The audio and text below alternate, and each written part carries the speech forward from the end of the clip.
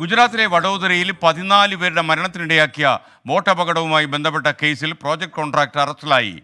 വിനോദ് കോട്ടിയ എന്ന ആളാണ് ഇപ്പോൾ അറസ്റ്റിലായിരിക്കുന്നത്. അപകടത്തിന് പിന്നാലെ ഇയാൾ ഒളിവിൽ പോയിരുന്നു. ബൽറാം നെടുങ്ങാടി വിവരങ്ങളുമായി ചേരുന്നു. ബൽറാം വിശദാംശങ്ങൾ.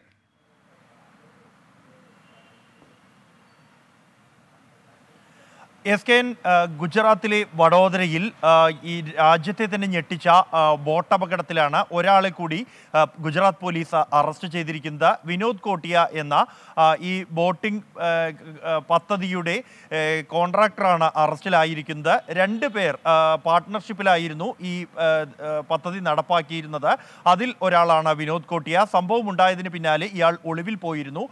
ഇന്നലെ വൈകിട്ട് ഗുജറാത്തിൽ തിരിച്ചെത്തിയതായി വിവരം ലഭിച്ചതിനെ തുടർന്ന് പോലീസ് തെരച്ചിൽ നടത്തുകയും ഇയാളുടെ ഒരു വ്യവസായ സ്ഥാപനത്തിൽ നിന്നും ഇയാളെ അറസ്റ്റ് ചെയ്യുകയുമായിരുന്നു. ഇതോടെ ഈ കേസിൽ അറസ്റ്റിലായവരുടെ എണ്ണം ഏഴായിരിക്കുകയാണ്. ഇനിയും നിരവധി പേർ ജയിൽ നിലവിൽ ഒളിവിലുണ്ട് എന്നാണ് പോലീസ് അറിയിക്കുന്നത്. അത്തരക്കാരുടെ സ്വത്തുക്കൾ കണ്ടുകെട്ടാനുള്ള നടപടി ആരംഭിച്ചതായും പോലീസ് വ്യക്തമാക്കിയിട്ടുണ്ട്. അപകടത്തിൽ പതിനെട്ട് പേർക്കെതിരെയാണ് കേസ് എടുത്തിരിക്കുന്നത്. പന്ത്രണ്ട് കുട്ടികൾ ഉൾപ്പെടെ പതിനാല് പേരാണ് ഈ അപകടത്തിൽ മരിച്ചത്. S K N.